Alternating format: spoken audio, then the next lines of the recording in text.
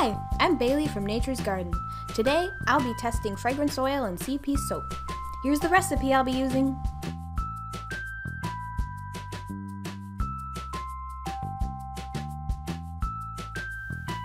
I've already combined my soaping oils and lye mixture together and brought them to the emulsification stage. Now, I'll be adding fragrance oil to my soap batter, mixing it with a stick blender and observing how the fragrance oil affects trace. I'll also be looking to see if the soap riced, if fragrance separated in the batter, and how the fragrance performed in my finished soap. Bear with me while I beat the soap batter to bring it to trace.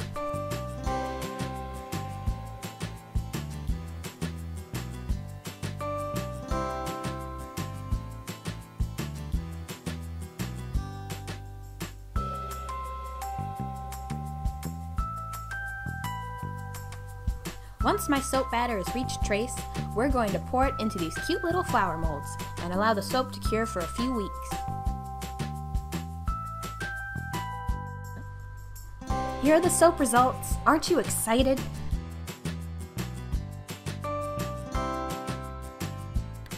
Nature's Garden. Scents that care about your soap. Yay!